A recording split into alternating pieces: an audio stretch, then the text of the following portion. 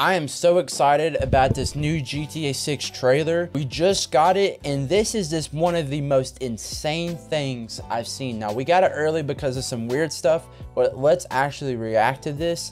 Now, this is exciting as crap. To me, I love how they started this out. But actually, let's watch it. I'm to turn it down a little bit. But yeah, I'm not trying to get copyrighted, but literally it's just music behind here. This is just crazy, boys.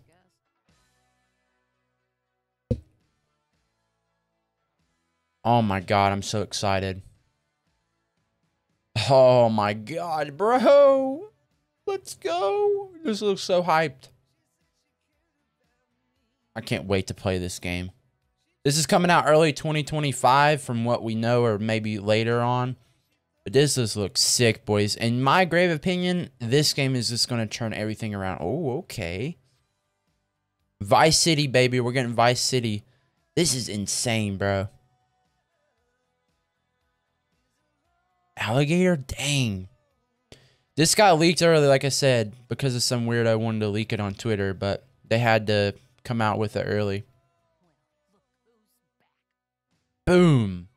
Let's go. I mean, I think the pro, pro I think it's like two different um players will be playing dirt bikes. This is just such a cool trailer, bro. We've been waiting on this for 10 years and I'm so excited about it. Let's go, chat. GTA 6 coming 2025. Let's go. I'm so excited. What do you guys think in the comments? Make sure to drop a like and subscribe if you guys are new. And yeah, man, this is right here, boys. We're so, we're locked and loaded. I'm ready to make the content. I'm ready to go. Make sure to drop a like, I said.